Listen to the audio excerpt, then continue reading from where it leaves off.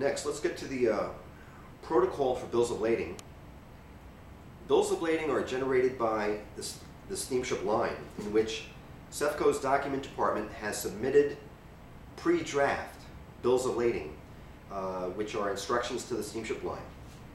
Uh, normally, uh, we have to give the, these uh, bill of lading instructions, the draft, to the steamship lines a couple days before sailing.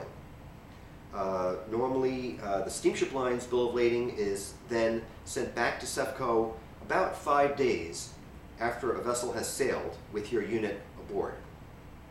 Now, there are two types in general of ocean bills of lading. One is the original hard copy, uh, which is sent to Sefco, and in turn, uh, we would forward these hard copy original documents to the address noted to us on the SLI form, the Shipper's Letter of Instructions form.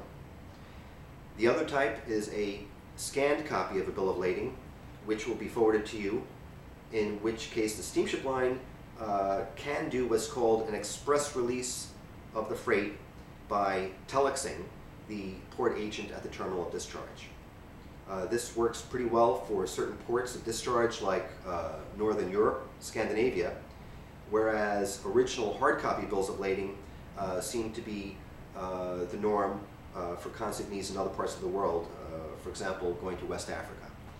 Uh, to some ports in West Africa, the steamship line may charge an additional fee uh, to arrange a telex release. So basically, the choice is up to you.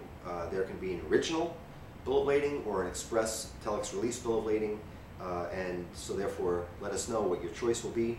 Let us know beforehand, and we'll take care of it accordingly.